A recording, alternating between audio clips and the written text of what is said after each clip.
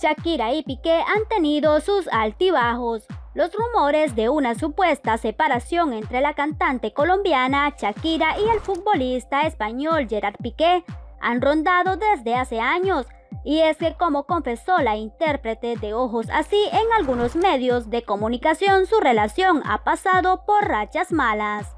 Sin embargo, por fin se supo la verdad sobre el futuro de Shakira con el defensa central del Club Barcelona, y es que hace algunos días se les vio juntos a sus hijos Milán y Sacha. En fotografía se observa a la cantante y a Piqué acostados sobre una sábana colocada en el pasto de una cancha de fútbol, dándose un tierno beso.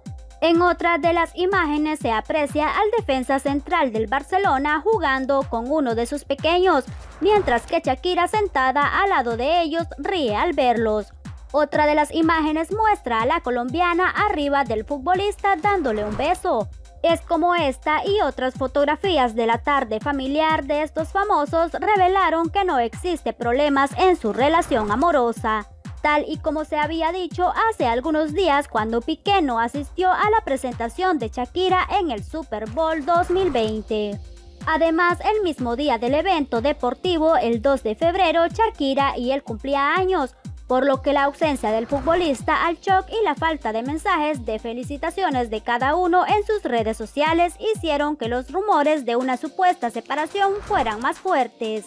Sin embargo, poco tiempo después se supo que Piqué no pudo asistir al shock de Shakira ya que en esos momentos tenía un partido de fútbol contra el Levante.